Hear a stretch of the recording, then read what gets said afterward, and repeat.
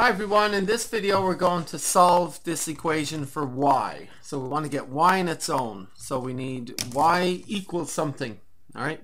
So the first thing we do is just figure out what is being done to y right now. What are the operations applied to y? Well, we can see added on to y on the left side of the equation is a negative 3x.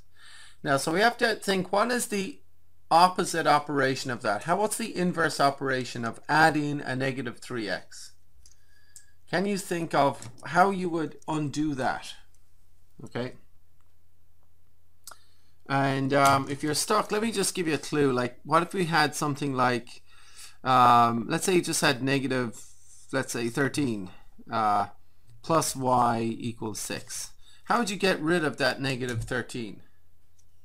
What would you do? And you were solving for y. So just, just uh, you know, try to solve this one for y. What if you had negative 13 plus y equals 6?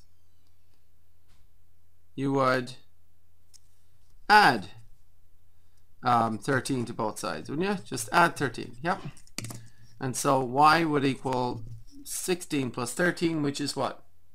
Or 6 plus 13, which is 19. Or just, you know, um, 13 plus 6. 6 plus 13. Same thing, right?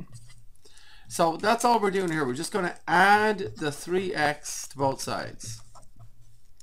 And we just get y, because negative 3x plus 3x makes 0. That will make that go away. That'll get that problem out of your life. Now you have y equals 6 plus 3x, or 3x plus 6, same thing, right?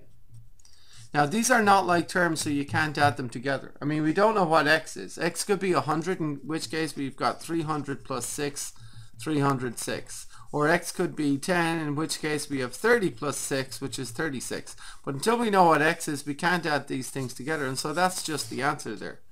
I mean if you, yeah, okay, so in this case over here we could have said y is, you know, 19. But this is just the answer. You just add 3x to both sides, right?